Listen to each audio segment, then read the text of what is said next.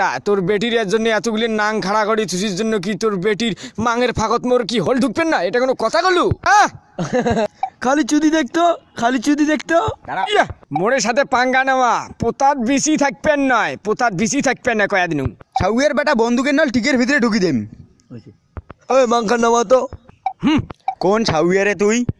ওই মুই সুদাড়ু মুই জাত সুদাড়ু বুঝছিস?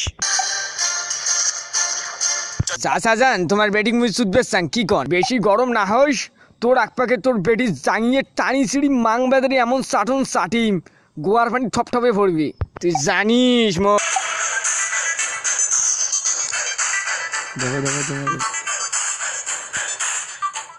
কিরে হাড়া ধানের বেটি তুই কি মোক চুদবে দিবেন না হ্যাঁ? ও স্যাটের শোয়া লাগলে তুই কপালি হয়ে যাব তোর মাং থপ- আমি তোমার মাং খাব।